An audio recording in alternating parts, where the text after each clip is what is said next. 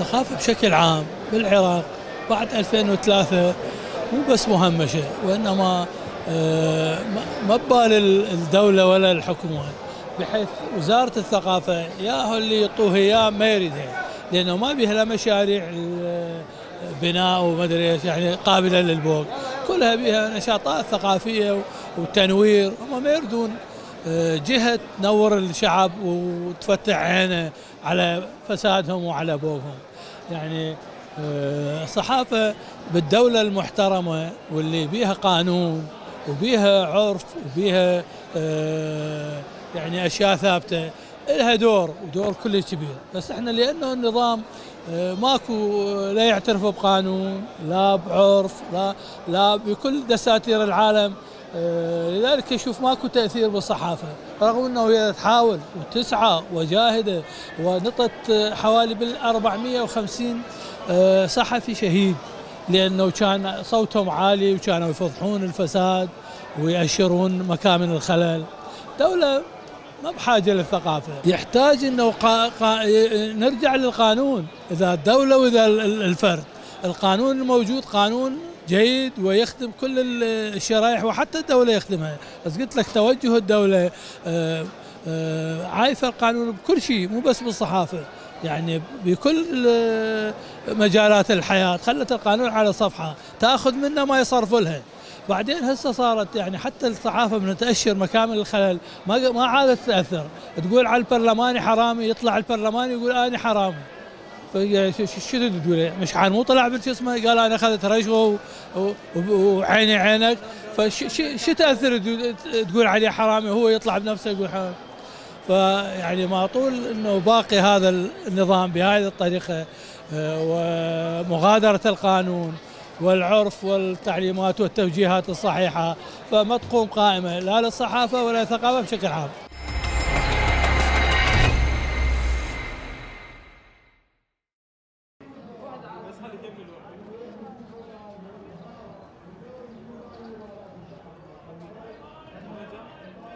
طبعا الثقافة والعلم هي مقياس تقدم الشعوب. فالإنسان المثقف ينظر آه، إلى الحياة آه، دائما نظرة تفاؤلية نظرة آه، علمية نظرة عقل. يختلف طبعا الإنسان اللي ما يطلع ما يثقف أو الإنسان الأمي. الثقافة تأتي من خلال الكتب الاطلاع من خلال الشعر والقصائد الاطلاع على اللوحات لدينا كثير من المبدعين في هذه المجالات الأدبية والفنية.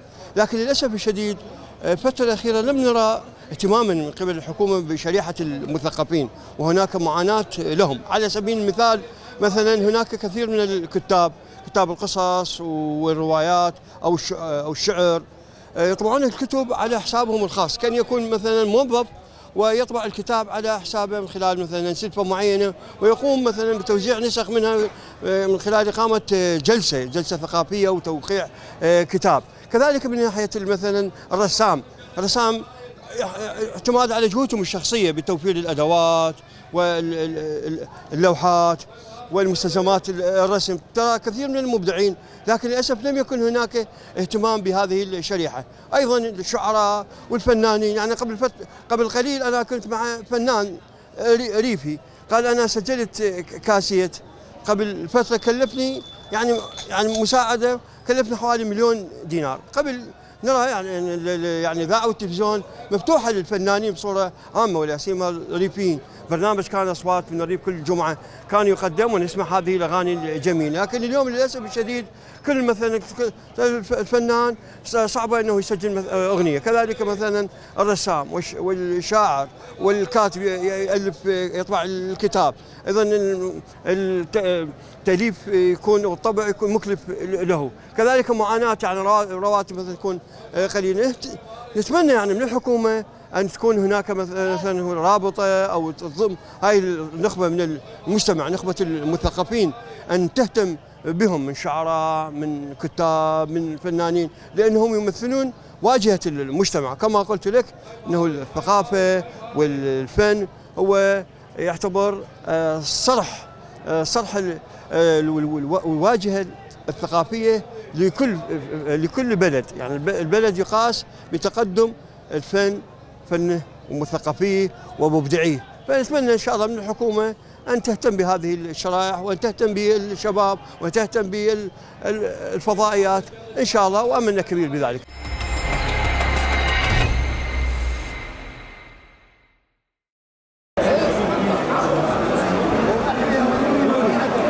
أكثر شريحة بالعراق تضررت شريحة المثقفين. والسبب بأن المثقف ما يقدر يتجاوز. يعني المثقفين هسه قاعدين أكثرهم أجار. ما تلقي مثقف أديب أو شاعر أو مؤلف أو ملحن يروح يتجاوز ويقعد بأرض مو أرضه أو بيت مو بيته. لما يقعد أجار ويدفع راتبه أو التقاعد ماله أكثر من هذا الضرر آه، تصرفات وزير الثقافة الحالي. للأسف وزير الثقافة يعني أنا من خلال ملاحظتي إليه خلال هاي من السلام لحد الآن ما يختلف عن البقية. يعني للأسف وزير الثقافة دا يجي عطشان صور عطشان إلى أن يقوم بتكريم ويكرم. وزير الثقافة المفروض يعتني بالمثقفين. يعني هذا شارع المتنبي وهاي هنا المنتديات وهنا عندنا آه تواجد الناس تجيك بس بالجمعة. على الأقل أسوي إنترنت مجانا. بهالمنطقة. لأن هاي كل دول العالم مكان تجمع المثقفين يكون به إنترنت مفتوح. لكن إحنا بالعراق حرب على المثقفين. حرب علنية. رئيس الوزراء يحارب المثقفين. رئيس الجمهورية يحارب المثقفين. رئيس البرلمان يحارب المثقفين. ليش؟ المثقف ما حيأذي أحد. المثقف ما حيروح يتجاوز. المثقف ما حيروح يبوق يسرق. المثقف مستحيل يأذي أحد لأن هو مثقف. يعني آه، أنا بالنسبة لتعريف المثقف هو من يطبق القانون على نفسه وعلى غيره. فالرئاسات الثلاثة ما لها شغلة بالقانون. لأن حاليا اللي مستفاد منه السارق آه، المزور كل شخص يأذي المجتمع هسه مستفاد. يعني فرصة للحرامية فرصة للفساد. ويطلعون الرئاسات الثلاثة والوزراء والبرلمانيين آه، يريدون يحاربون الفساد. ما تحاربوا روحكم. أول فاسد اللي تريد تعرفه باع بالمراية من ذول الرؤساء. فعليهم محاربة روحهم أنفسهم. تغيير مال قضية التغيير حيتغير يعني الوضع العام ما يتغير. من سيء إلى اسوء ومستمرين. لا لا تعيينات. المتقاعدين مليونين أكثر من مليونين وقفوا بالشارع حوالي ساعتين ثلاثة يريدون يواجهون رئيس البرلمان وما واجههم بعد شو سبب المثقف؟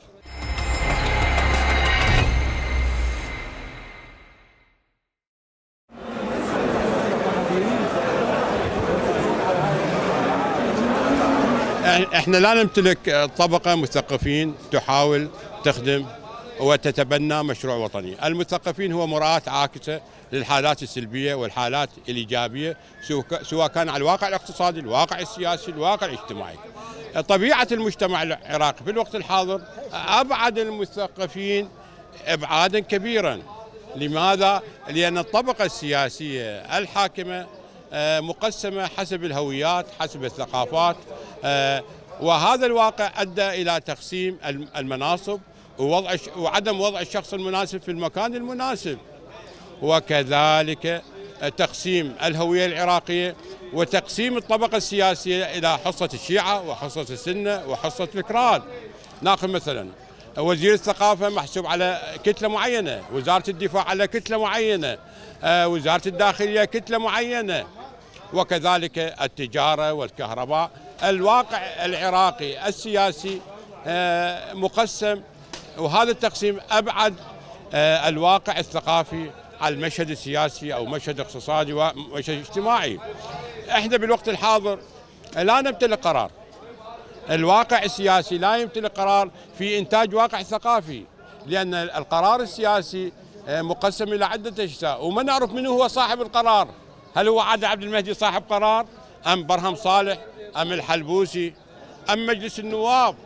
أنا أعتقد آه، الطبقة السياسية أبعدت المثقفين واتجهت إلى تقسيم الهوية الوطنية واتجهت إلى إلى إلى تقسيم الامتيازات والمناصب. نأخذ مثلا بالوقت الحاضر. وزارة الدفاع وزارة الداخلية لها نثريات كبيرة. فشوف الصراع السياسي على هالنثرية وليس على خدمة الشعب العراقي. وكذلك الواقع السياسي. إحنا بالوقت الحاضر نتمنى من الأمريكان اللي جابوا هاي الطبقة السياسية الفاسدة تبديلها طبقة جديدة تؤمن ببناء هوية وطنية، تؤمن ببناء مشروع واحد للشعب العراقي، وتؤمن برفض رفض تقسيم الهويات وتقسيم الثقافات والاتكال على هوية وطنية واحد تمتلك قرار يخدم كل ألوان وطبقات المجتمع العراقي. أنا اتمنى أتمنى بالوقت الحاضر نتمنى من الأمريكان تشكيل حكومة انقاذ وطني وإعلان حاله طوارئ من أجل بناء الدولة العراقية ومن أجل التخلص من قياسات الأمم المتحدة اللي تقول آه، العراق ثالث دولة باللصوص وأسوأ جواز سفر هو عراقي وكذلك أسوأ عاصمة في العيشيه بغداد وكذلك تقول الأمم المتحدة ارتفاع درجات الحرارة العراق صار مرتبة أولى في آسيا في ارتفاع درجات الحرارة. اذا من أجل بناء واقع ثقافي التخلص من هذه المواصفات وبناء نتمنى من الأمريكان اللي جابوا لنا هذه الطبقة الفاسدة بناء دولة عراقية تمتلك مشروع يخدم كل الوان وطبقات المجتمع العراقي.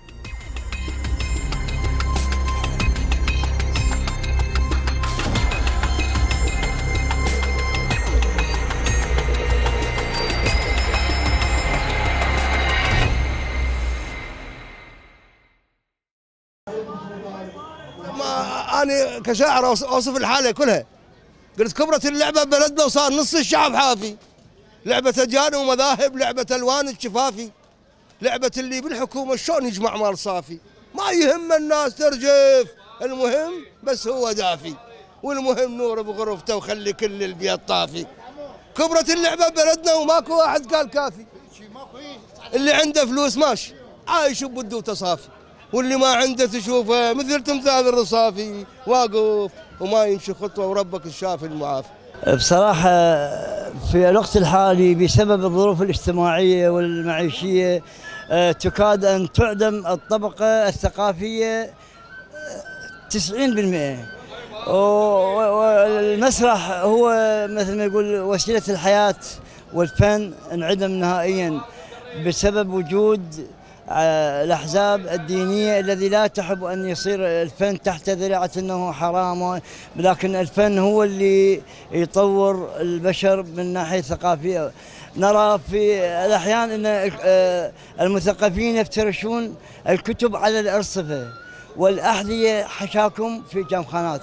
هذا أخطر شيء يمس الثقافة فنرجو من الحكومة أن تدعم الثقافة والفن لأن الكتاب خير جليس لي.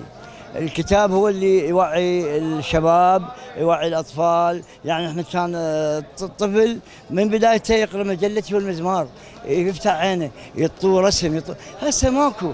يشجعونا على ألعاب نارية أسلحة ألعاب أكبر من عمره الموت يعني مو فإن شاء الله نأمل إحنا بالحكومة تدعم الجانب الثقافي. يعني هذا المنتدى حلو يحتوي على الفنانين والشعراء والأدباء بس قليل. يعني يجمع بس يوم جمعة وهذا ما يكفي هاي نحتاج إلى تطوير مراكز شباب ومراكز توعية ثقافية ومنتديات كبيرة ومؤتمرات للشعر والخطابة والأدب وإنشاء مسارح وتطوير آه، الفن وحتى الرياضة. الرياضة تعتبر شيء تابع للثقافة والصحة والأدب وكل شيء إن شاء الله نحو المستقبل من أجل بناء عراق زاهر ومتحضر.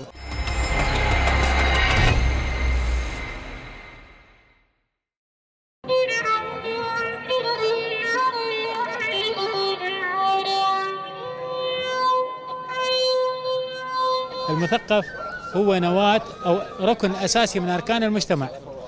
تقاس تقدم الشعوب وحضارات الأمم بمثقفيها بوعيها بعلمائها. اذا الثقافة جزء من العلم والعلم والثقافة مكتملان عاملان يكمل بعضهما الآخر فإهمال هذه الشريحة المهمة وعدم فتح المجال الكافي لهذه الشريحة يعد اهمالا في جميع نواحي الحياة. لولا المثقفين العفو. لولا المثقف لما وجدت أصوات تطالب بالتغيير. لو لو ترك الإنسان على هامش الحياة لا يستطيع المطالبة بالتغيير ولا يعرف ما هو الأفضل. اذا الثقافة ركن أساسي من أركان الحياة. الحياة بصورة عامة كما يقال الماء سر الحياة. اذا الثقافة سر العلم. وكما الثقافة أهملت هنا إذا راح تهمل جوانب كثيرة من حياة المجتمع بسبب الإهمال. نلاحظ في بداية سقوط بغداد عام 656 هجرية.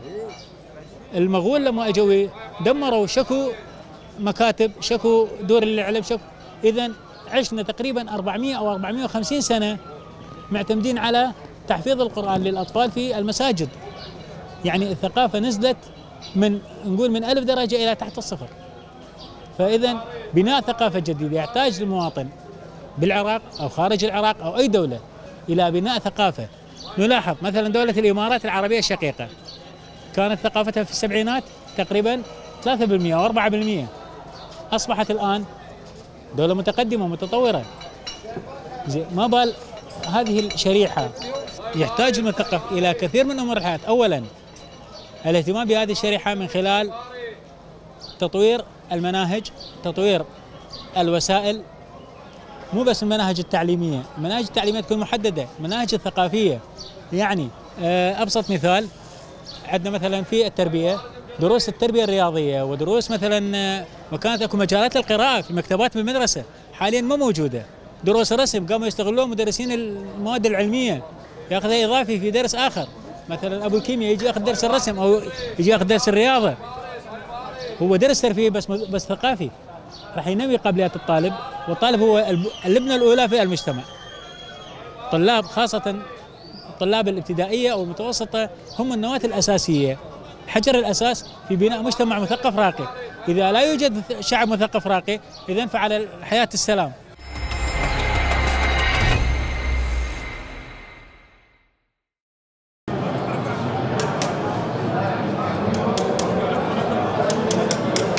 التهميش بالنسبة للمجتمع. تهمش الكثير من أبناء المجتمع العراقي. أولا تهمشت الفنانين طبقة الفنانين طبقة المثقفين. إيه، تهمش ال- ال- المتقاعد تهمش ال- المدرس. إيه، تهم كلها تهمشت. يعني ما بقى فد شيء بالعراق. نذكره إذا ما هو تهمش والنسب بالضبط. سواء الخدمات سواء التعليم سواء الصحة. سواء كل المجالات تهمشت لكن أكو أكو أماكن تضررت أكثر. واللي هي أني أذكرها بالبداية هي الطبقة المتقاعدين. هاي الطبقة اللي من خلال فترة التغيير إلى الآن شعرت أكثر طبقة بالتهميش.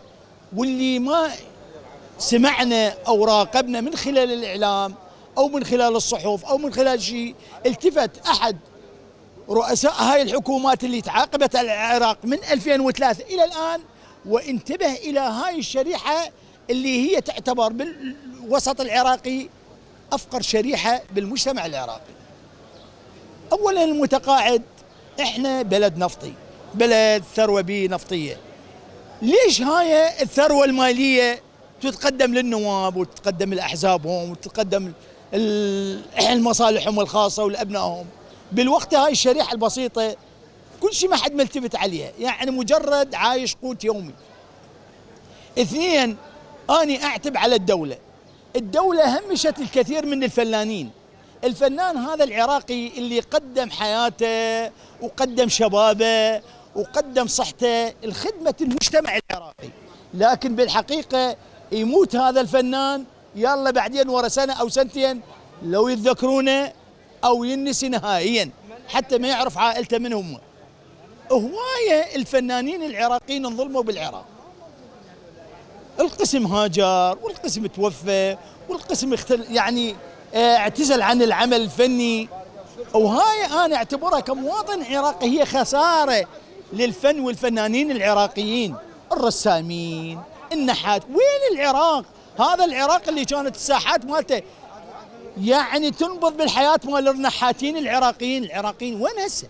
يعني نريد فد ساحه بها فد تمثال جديد الفنان العراقي ما نريد مسرحية من مسرحيات الثمانينيات اللي كانت عندنا فطاحلة. هسه الفن العراقي يفتقر لكل شيء ماكو. يعني الفنانين العراقيين مسحوا نهائيا.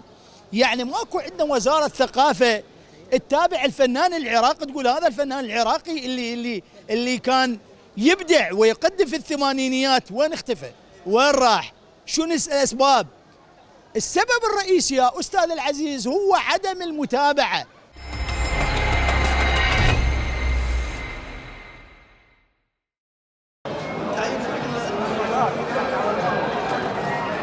الشريحة المثقفة المتعلمة اليوم مهمولة من 2003 لهذه الساعة من موسيقى من إعلام من كتاب من فنانين من مسرحيين من كافة هاي الشريحة المهمولة. مع الأسف الشديد وما ما ينضج هذا البلد وما يرتقي إلا بالفنانين والمثقفين والمفكرين. هاي اليوم نحتب على وزارة وزارة وزارة الثقافة. اليوم وزارة الثقافة هاملة هذا الشيء. لماذا؟ هناك هناك دس وتدمير إلى هذه الشريحة المرموقة ومع الأسف الشديد ويعيب ونعيب على رئاسة البرلمان من 2003 لهذه الساعة لم يشرحوا قانون حقيقي لدعم هذه الشريحة الحقيقية الذي هي واجهة البلد، واجهة الإعمار، نحن من علمنا العالم الكتابة والقراءة والكتابة، نحن أهل سومر، نحن أهل حضارة، نحن أهل بابل، لماذا همشت؟ همشت الاستعمار الأمريكي اليهودي لدمار هذه الشريحة الحقيقية لإنهائها، نحن أهل حضاره ونقول لهم إن شاء الله نحن علمنا العالم الحضارة أمس وإن شاء الله وغدا واليوم.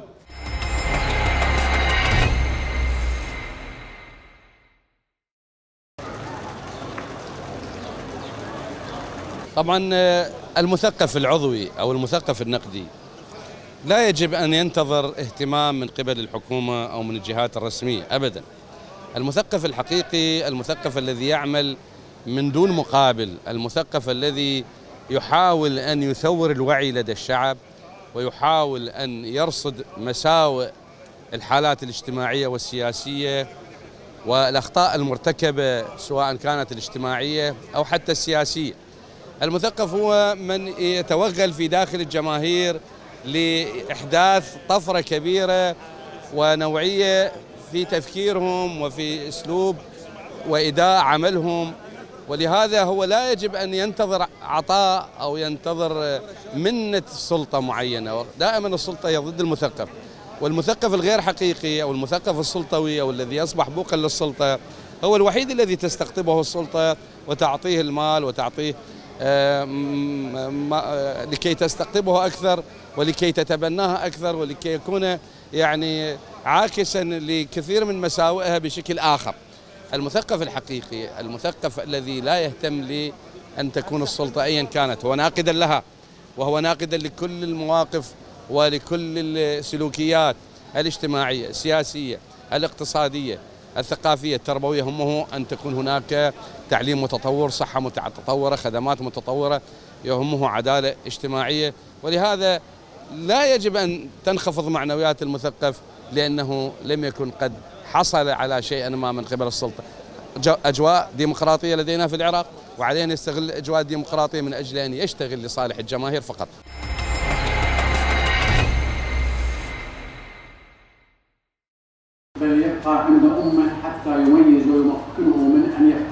حقيقة بعد 2003 ليومنا هذا هناك تغير كبير بالنسبة للمواطن العراقي وهناك طرأت كثير من الصفحات بالنسبة للوسائل الإعلامية المتعددة. المثقف العراقي في العراق يعاني الكثير. المثقف العراقي هو استطيع استطاع أن يرسم صورة جميلة بالواقع الثقافي العراقي.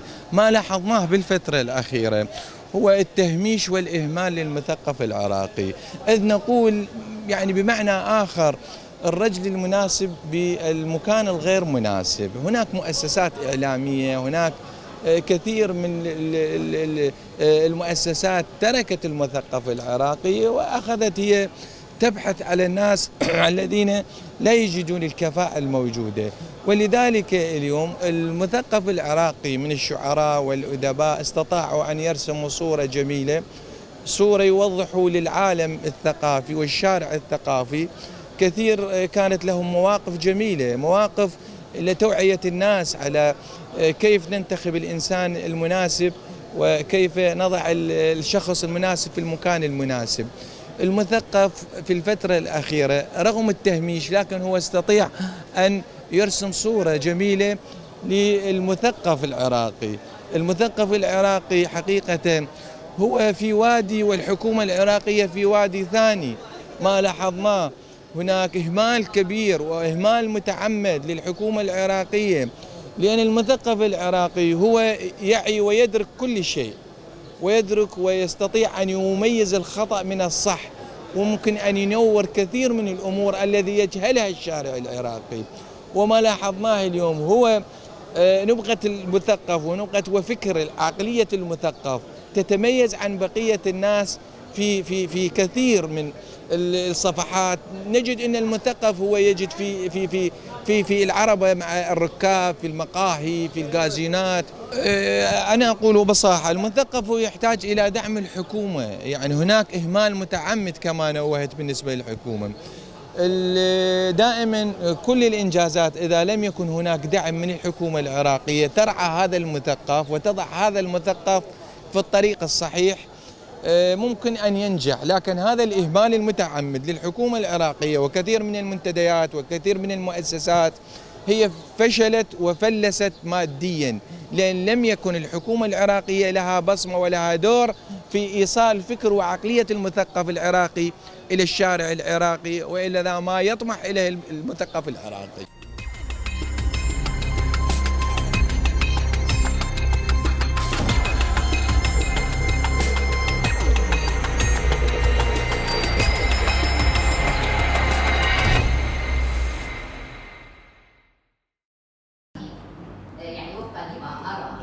إهمال آه، شريحة الإعلاميين والمصورين والصحفيين. آه، إهمال آه، بصراحة واضح للعيان. والدليل يعني نحن الموثقين في شارع المتنبي لم يطرق بابنا أحد من أجل الوقوف معنا. دعم يدعم دعما ماديا ومعنويا من أجل ديمومة التوثيق الإعلامي لشارع الثقافة شارع المتنبي. إحنا بدنا نشتغل على حسابنا بدون رواتب بدون كذا تابعين وكالات. معتمدة في نقابة الصحفيين الحمد لله آه، المشكلة هنا آه، إحنا بصراحة عتبنا على الحكومة، الحكومة لا يجب أن يكون لها دور فاعل من أجل دعم هاي الشريحة المهمة. هي ليس في العراق فحسب في كل دول العالم. لأن شريحة الإعلام هي المراه العاكسه بين الشعب والحكومة. بصراحة هو الحديث طويل عن هذا الموضوع. لكن منو يتطرق إلى هذا الموضوع المهم. كثير من الوكالات وكثير من الفضائيات تطرقت إلى وضع مأساة الإعلاميين من أجل آه، دعمهم ماديا ومعنويا لكن دون جدوى للأسف الشديد. فراجين من الحكومة المركزية والحكومة المحلية نحن الإعلاميين مع الحكومة مع مع الشعب في آن واحد آه، آه، على خط واحد. يعني إحنا بصراحة مع مع الحكومة بس نريد إنه يكون لهم دور آه، تجاه هاي الشريحة المهمة. من أجل الاستمرارية وديمومة التواصل مع آه، المواطنين ونقل معاناة المواطن إلى المسؤول. وهذا هو هدفنا بصراحة. هدف كل إعلامي وهدف كل مصور موجود أن ينقل حقيقة ما يدور في الشارع العراقي وفي كل أمور الحياة التي تهم المواطن العراقي. آه، لذلك آه، بصراحة آه، أطالب الحكومة أن تضع حل لتهميش شريحة الإعلاميين والمصورين والصحفيين في العراق. وهذا واجب وطني هو إحنا جايين من أجل خدمة العراق الغالي وشعبه قادر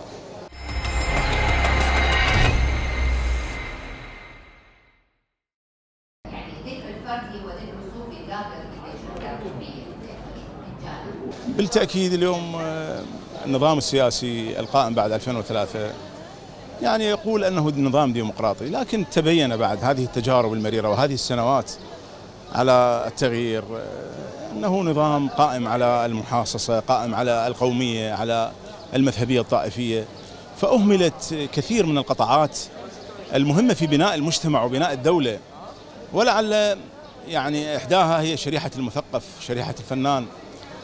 تعرف أنت كل دولة إذا تريد أن تبني مجتمع فهي تحاول تنمية الحس الثقافي، الحس الفني، آه، هذه المواهب حتى تضمن سلامة البنية الفكرية للمجتمعات لكي لا تتعب عليها صحيا ويعني امنيا. كلما كان المجتمع واعي مجتمع يقرأ مجتمع مثقف كلما قلت نسبة الجريمة نسبة المرض. لكن في العراق مع الأسف الاهتمام والتركيز على قضية بيع النفط والحصول على الوزارات الدسمة فأصبحت هذه الفوضى اليوم السائدة في بلدنا مع الأسف. لذلك أنا أقول على المثقف وعلى الفنان أن يرفع الصوت عاليا أن يحتج لأن حقوقه ويعني ما يجب أن يوفر إليه قد ضاع في هذا البلد. والساكت يعني في بلدنا مع الأسف تغبن وتغيب حقوقه. والدليل أن كل ما تحصل مظاهرة فأن الدولة تنزل إلى الشارع وتلبي طلبات المتظاهرين. لكن مع الأسف لم نجد في يوم من الأيام تظاهرا للمثقفين تظاهرا للشعراء للطبقة الواعية. من أجل تصحيح هذا المسار الخاطئ حتى تضمن حقوقها وتكون منار تهدي به طبقات المجتمع الباقية لأن المثقفين والطبقة الواعية هي التي تبني وهي التي تقود. فإذا غيبت هذه الشريحة المهمة قطعا سيكون الجهل حاضر التخلف والدليل هذه الشخصيات التي اليوم تقود العملية السياسية وأكثرها هي شخصيات دمج غير واعية غير مثقفة مما أدى آه، بالبلد إلى هذا الوضع المزري وهذا الخراب الذي يضرب في كل الأصعدة وفي كل المجالات.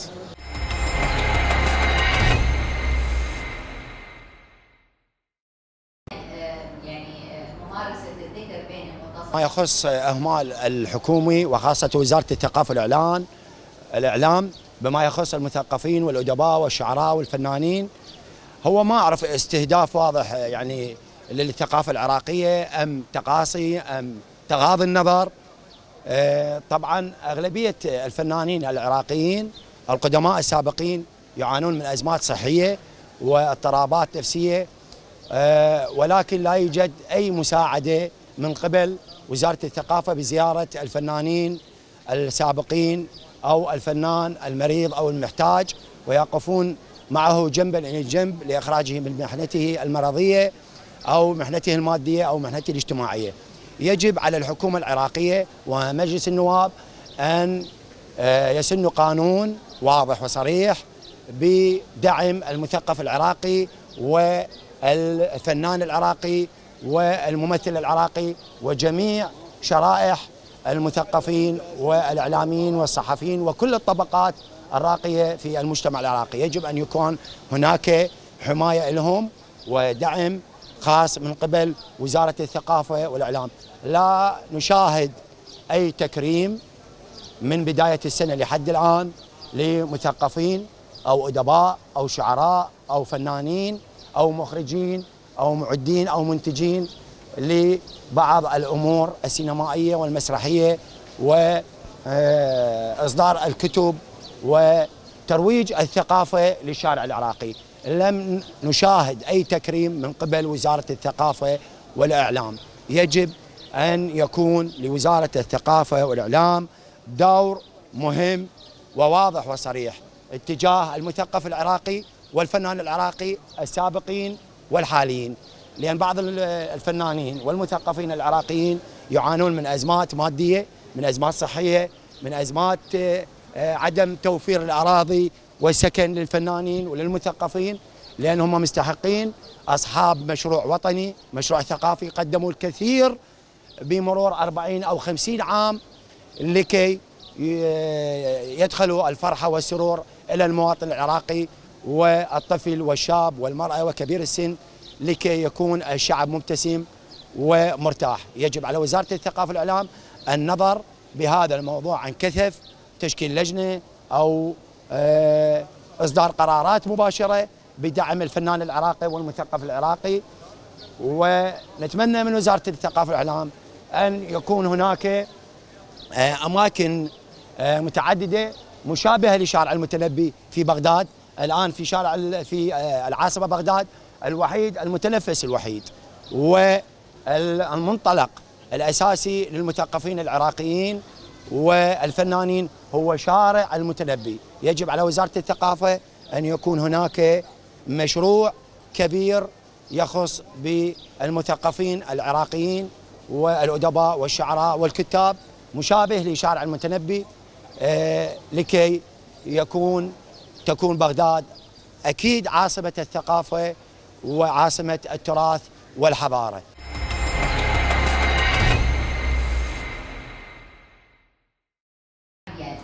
أو لسلوك محدد ظاهر للغير.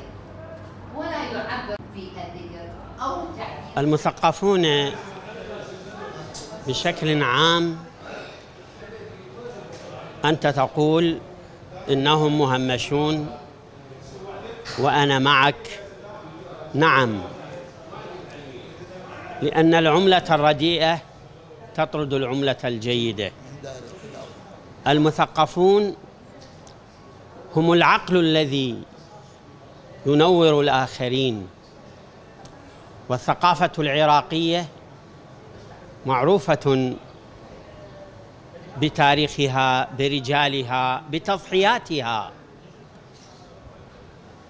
وغالبا ما كان الهوى اليساري هو الذي يسيرها. أقول غالبا. ولذلك لا نعجب إذا ما رأينا هذا الزمن وقد أبعدها إلى حد ما لأنها لا توافق هواه. لأن السلطة أية سلطة على مر التاريخ؟ تريد لها وسائل إعلامها التي تبث أفكارها ومبتغاها. لذلك غالبا ما نرى المثقف في هذا الزمن مهمشا فهو يمرض ونادرا ما تمد له يد المساعدة إلا إذا كان من المشهورين جدا ومن الأعلام. واتحاد الأدباء يناضل من أجل أن يكسر هذه المسألة. وقد سرني أخيرا ما سمعته من إنشاء لجنة لجنة يشرف عليها الشاعر الشاب عمر السراي لتنشئ صندوقا من تبرعات المثقفين والأدباء أنفسهم. أرجو لهذه الفكرة أن تنال نجاحا. لكي لا يمد الأديب يده إلى من لا يستحق أن تمد له تلك اليد.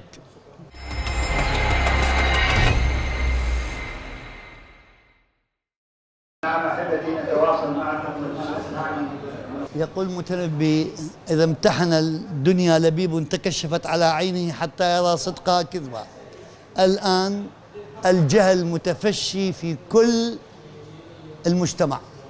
من ألفه إلى يائه. لذلك المثقف معزول المثقف محارب المثقف مبتعد ومبتعد عن دائرة النشاط أو دائرة التقدم. لذلك تجد الفنانين ليس لهم أي قيمة الآن في البلد. تجد الشعراء أيضا في نفس الوقت لا يستطيعون أن يقولوا ما يريدون أن يقولوه.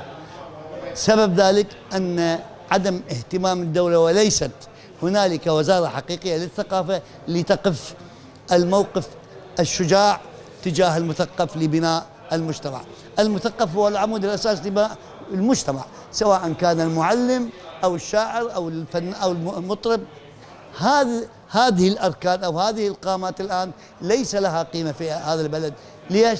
لتفشي الفساد والفساد لا يشترط أن يكون فساد في المال، فساد سياسي، فساد فكري، الاهمال نتمنى نتمنى مثلكم أيها الشباب الغيارة أن تكونوا الأداة أو الجسر إلى تنقية هذه الأجواء وإلى الاتصال بالأدباء وإعطائهم القيمة الحقيقية ليأخذوا دورهم في هذا المجتمع في بنائه المثقف يحتاج الدعم الحكومي الدعم المادي والدعم من ليست هنالك دولة في العالم الآن كما تعرفون أنتم فيها قنوات فضائية أكثر من العراق. أكو هل هنالك لو كانت للمثقفين وهذا سؤالك ثلاث قنوات ثلاث قنوات بغداد والبصرة والموصل كان شنو بالثقافة كيف تكون؟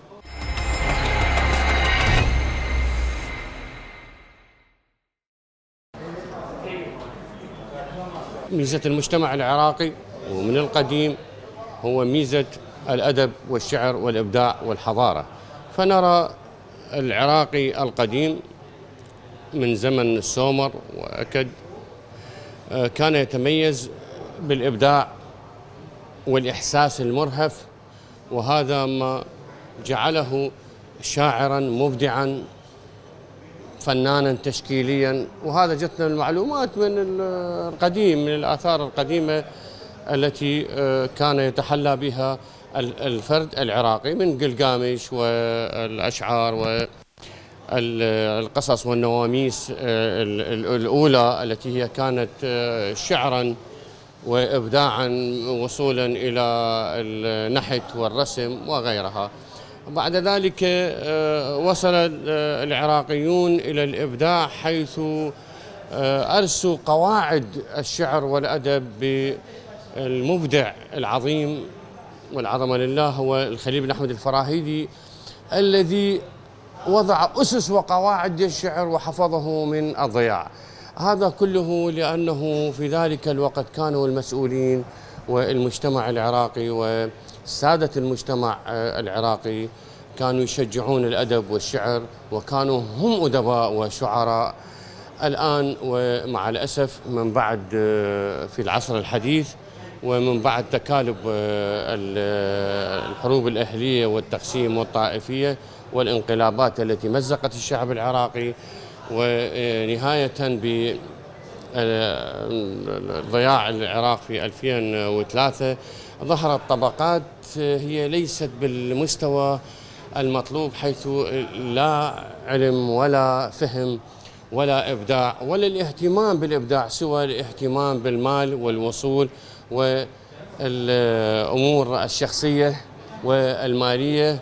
والجاه والشهرة فهذا ما سبب آه، نسيانهم متناس- ناسين أو متناسين عن هذه ال- ال- ال- الميزة التي تميز بها العراق من دون مجتمعات العالم. إحنا آه، نعزي هذه المسألة أنه آه، تهميش المثقفين لأنه المثقف يضرب بيد من حديد على الفاسد على المنحرف على المتخلف والآن ما نرى إلا الفاسدين المتخلفين هم الذي آه، توصلوا إلى سدة الحكم واعتلوا المسؤولية المهمة في آه، مفاصل المؤسسات المجتمع العراقي.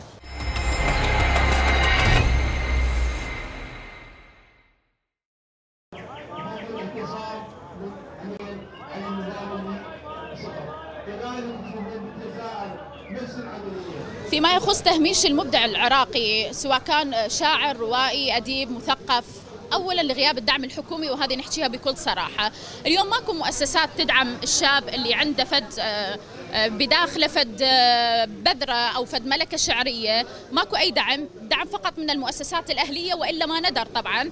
الوضع الآن اليوم السياسي، الاقتصادي، الوضع الاجتماعي بشكل عام انعكس على كل مفاصل الحياة عند العراقيين، يعني اليوم استقرار الوضع الأمني يأثر على استقرار الجوانب الأخرى الجوانب الحياتية الأخرى الوضع الاجتماعي الوضع الاقتصادي. لذلك الآن المتسيد على السطح حقيقة وكل العراقيين تشوفهم اليوم محللين سياسيين. اليوم الوضع السياسي هو البارز. نتمنى أن تعود الطبقة المثقفة الواجهة العراقي المبدع اللي يشار له بالبنان في في كل مكان أينما حل. نتمنى أن يعود إلى ال- الواجهة ويعود ويعكس وجه العراق المشرق والبارز لأن العراقي مبدع أينما حل وارتحل.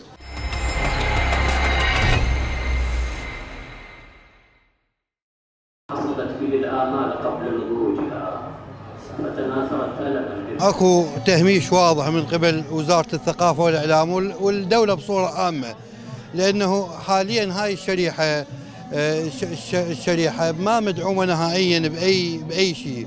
آه، لأنه من تجي للعالم ال- آه، آه، لنفرض أبسط الأمور أنت دخلت بشارع المتنبي، شارع المتنبي كان سابقا يدخلون المثقفين وذوي الشهادات العليا.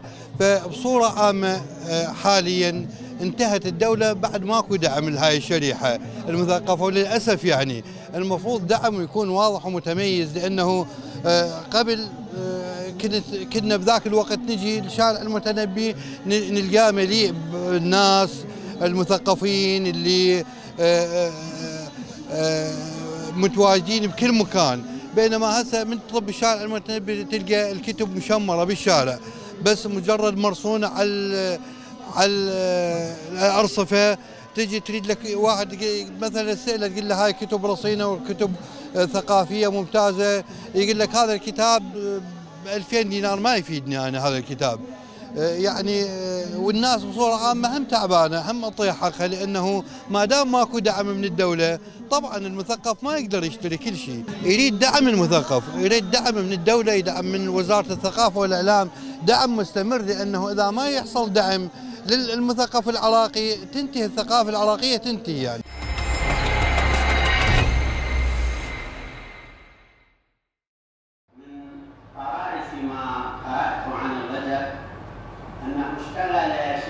صراحة هذا الموضوع لطالما يعني عزف على هذا اللحن الكثير من ال- يعني نقدر نسميهم الإعلاميين المدونين أصحاب ال- الصفحات الفيسبوكية مواقع التواصل الاجتماعي. لكن هو بجنبتين جنبه آه، العتب على الفنانين أنفسهم ولا ننكر أنه العتب على الجهات الرسمية الجهات الراعية الجهات الحكومية بعنوانها التشريعي أو التنفيذي.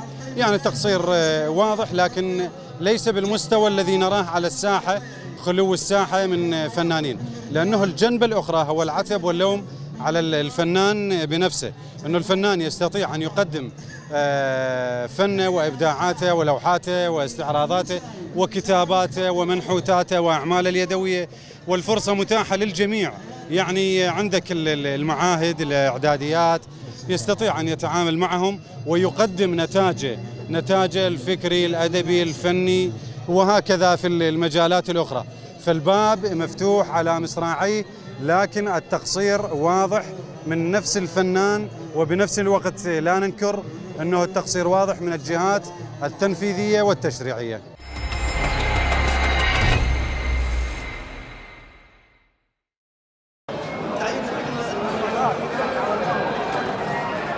يشكل الطبقة المثقفة في أي مجتمع الدعامة الأساسية للتنمية. لا توجد تنمية بشرية أو نهوض إنساني دون المثقفين. لأن المثقف هو القادر على صناعة المستقبل وهو الذي يحدد رؤية الطريق. المشكلة هناك قطيعة بين السياسيين والمثقفين وهذه قطيعة تعود لأسباب فكرية سياسية وغيرها من الأسباب. المطلوب من الدولة رعاية خاصة للمثقفين لأن المثقف هو القادر على صناعة تنمية حقيقية. عندنا الدولة في واد والمثقفون في واد آخر. مطلوب بناء مؤسسة ثقافية حكومية فاعلة وقوية قادرة على استيعاب المثقفين وتوفير البنى التحتية لهم.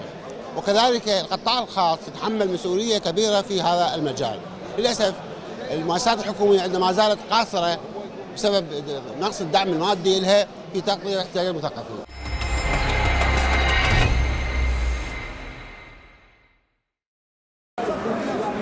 تعتبر الثقافة هي الركيزة الأساسية للتعريف بقدرات البلد ومبدعيه. لكننا للأسف الشديد آه، نلاحظ بأنه هناك تقصير واضح بالاهتمام بشريحة المثقفين والفنانين عموما. وهذا دلالة واضحة على أن آه، المسؤولين عن الشأن الثقافي العراقي لا يولوا الاهتمام بهذه الشريحة التي قدمت وأعطت وعرفت العالم بأسره بما يقدمه الأديب العراقي والفنان العراقي. لذلك آه، طلب من الجهات ذات العلاقة بأن ترعى هذه الطاقات وأن تقدم كل ما يمكن تقديمه آه، من أجل تحسين مستواهم المعاشي والارتقاء بهم نحو ضفة أخرى يشعرون بإنسانيتهم يشعرون بوجودهم يشعرون بعطائهم آه، ويشعرون بأن هناك من يقف وراءهم يساندهم ويرعاهم ويقدم لهم كل الدعم المطلوب.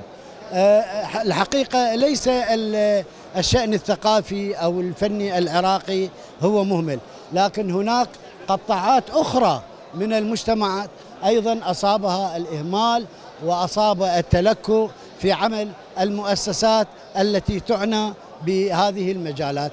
دعوة مخلصة للجميع بأن يهتموا بالمواطن العراقي بجميع شرائعه شرائحه وفئاته وقومياته ومذاهبه وأطيافه لكي يكون العراق آه، بلد آه، حقيقة آه، يستحق أن يقال له بلد الحضارة والجمال ونرقى بمستوى العراق عموما إلى ما كان عليه سابقا لأن العراق هو بلد الثقافة العراق هو شع بنوره على جميع الأرجاء.